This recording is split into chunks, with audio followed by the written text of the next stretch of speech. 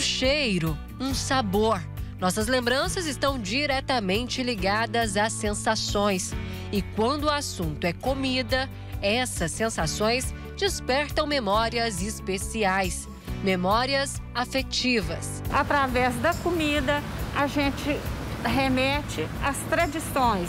E a memória afetiva, sim, né? Você pode observar que todo mundo, toda dona de casa, procura uma receita da vovó para fazer na sua própria casa e está mostrando ao seu filho que não conhecia. Aquele cheirinho de café passado na hora, de queijo fresco, do perfumado pequi. Na casa da dona Dalminha, é o biscoito frito que leva a idosa de 64 anos ao passado, a boas histórias. Apesar de simples, o biscoito frito é um quitute muito apreciado que fez e ainda faz parte de muitos lares goianos, ali no café da manhã, no lanche da tarde para criançada. E a dona Dalminha faz essa receita há pelo menos ali uns 50 anos, né, dona Dalminha? Acho que é mais. Mais que isso. E o segredo é comer quentinho? O segredo é comer quentinho, porque se ele esfriar, é murcha, né?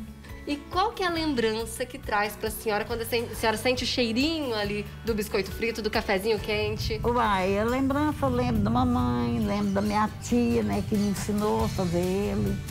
E então, assim, traz aquela lembrança e eu nunca esqueci de fazer ele. Sempre eu faço ele aqui em casa. A receita que desperta emoções leva ingredientes simples.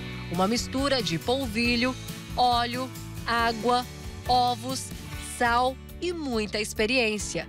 Apesar de parecer fácil, tem seus segredos. Não pode pôr no óleo quente, senão um que não cresce e estoura. Tudo é feito no fogão a lenha, comprado há apenas dois meses pelo filho da Dalminha. Aliás, o cheirinho da madeira queimando também traz muitas lembranças. Lembra lá em casa, né? Que era fazenda e era só fogão a lenha. E tudo que fazia no fogão a lenha, biscoito assado mesmo, era no, naquele forno que tinha no fogão a lenha. E a Érica é nora aqui da dona Dalminha, ela veio do Ceará, conheceu o filho da dona Dalminha aqui em Goiás e sofreu, porque teve que reaprender a cozinhar aí, né? Porque a comida goiana é bem diferente, Érica. É totalmente diferente da comida do Ceará. Os costumes, a comida. E eu cheguei, praticamente eu tive que aprender tudo. Né? Quem ensinou foi a dona Dalminha. Eu aprendi com ela, desde o arroz até o café. E o que, que o marido pede ali? Quer dizer, ai, que saudade daquela comida que minha mãe faz, como é que é? Ele pede muito para fazer tutum, galinhada.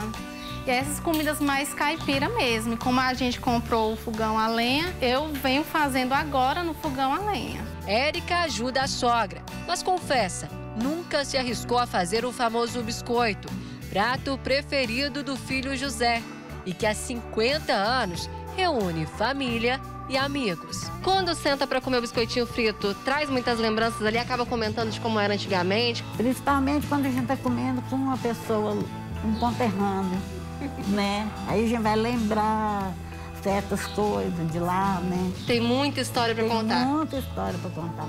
E tem que ter o cafezinho quente. Tem que ter o cafezinho quente e o bolo frito. Não tem como, né? Sentir esse cheirinho e não ver aquela lembrança na cabeça. Provavelmente quem é goiano, né? A avó ali, a mãe, fizeram muito biscoito frito. E eu, claro, vou me jogar aqui. Dá licença, dona Dalminha, posso? Ah, então. Com um cafezinho quente, claro, né? Pode me servir aqui, Erika, por favor? Obrigada. Vamos lá.